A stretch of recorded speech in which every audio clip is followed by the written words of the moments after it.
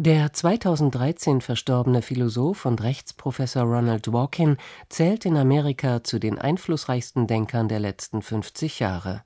Er war bekennender Atheist, doch deshalb niemand, der eine ausschließlich positivistische Weltsicht vertrat. Im Gegenteil, Dworkin hatte einen Sinn für das, was die faktisch verifizierbare Wirklichkeit verbirgt.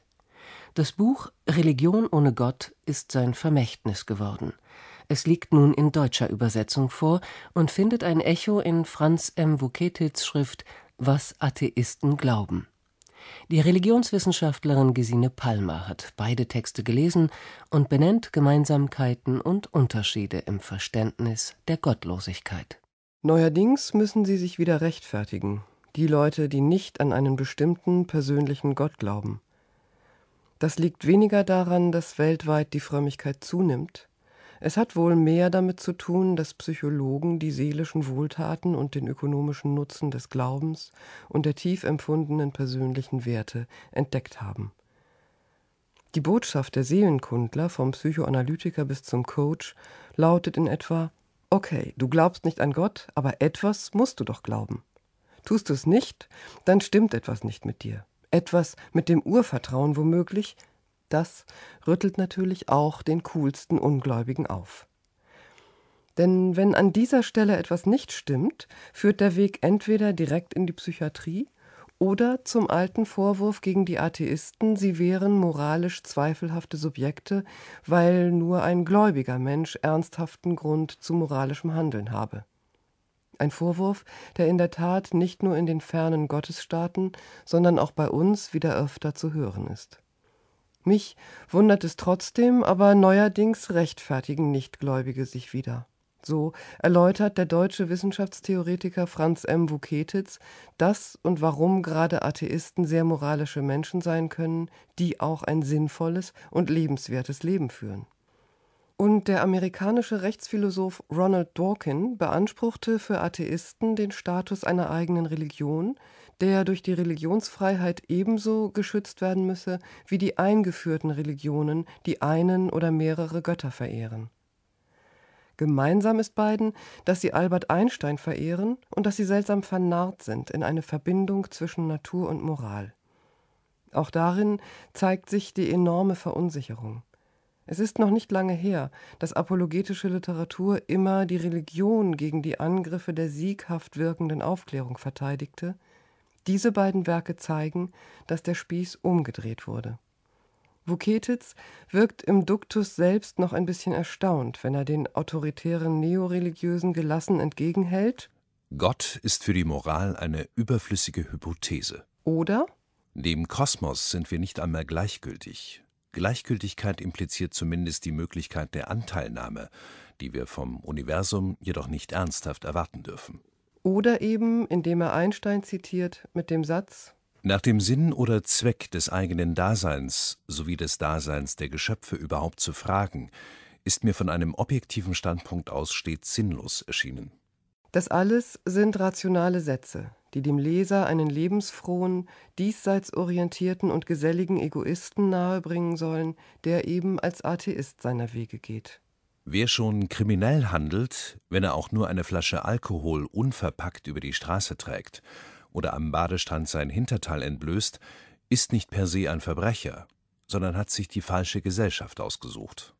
Einwenden muss man da schon, dass die meisten Menschen sich eben nicht selbst die richtige oder falsche Gesellschaft aussuchen, sondern vielmehr allzu oft in eine falsche Gesellschaft hineingeboren oder von ihr ergriffen werden, wenn sie frei und anders leben wollen.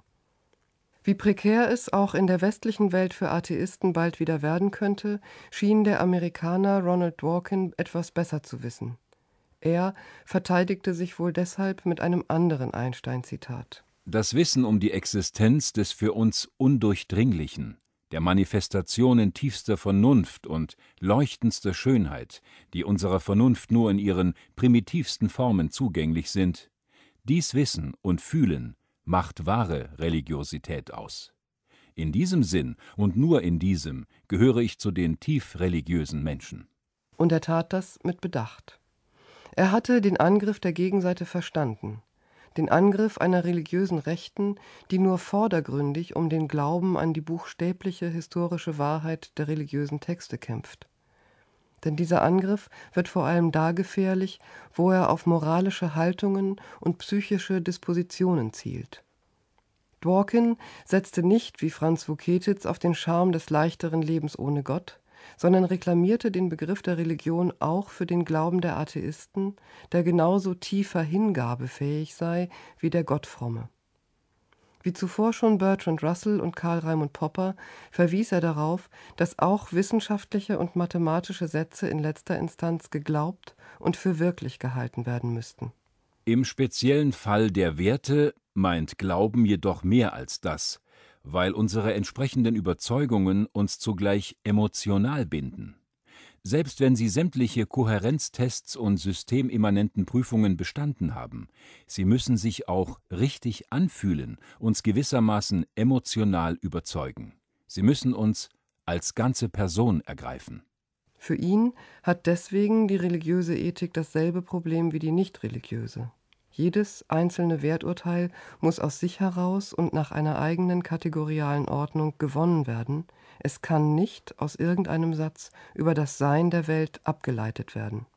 Es führt kein Weg von den Geschichten über die Entstehung des Firmaments oder des Himmels und der Erde zum bleibenden Wert von Freundschaft und Familie, zur Bedeutsamkeit von Wohltätigkeit oder zur Erhabenheit des Sonnenuntergangs. In einem weiteren Schritt definiert er jeden, der sich selbst an absolute Werte bindet, ob nun mit oder ohne Glauben an einen personalen Gott, als einen Inhaber religiöser Überzeugungen. So ist dem Atheisten das Recht auf Gewissensfreiheit gesichert und auch für ihn der psychologische Test auf seelische Gesundheit bestanden. Beide Bücher bieten interessante Argumentationen. Beide sind flott geschrieben und lesenswert, wobei der Amerikaner etwas tiefer gründet und komplexer schreibt als der Deutsche. Religion ohne Gott, so heißt das Buch von Ronald Dworkin. Es erschien gerade bei Surkamp. 146 Seiten kosten 19,95 Euro.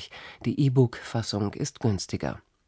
Das Buch des Wissenschaftstheoretikers Franz M. Vucetitz ist im Gütersloher Verlagshaus herausgekommen. Es ist 192 Seiten stark, kostet 19,99 Euro und hat den Titel Was Atheisten glauben. Das Buch ist ebenfalls als E-Book erhältlich. Gesine Palmer hat die beiden Neuerscheinungen in der Lesart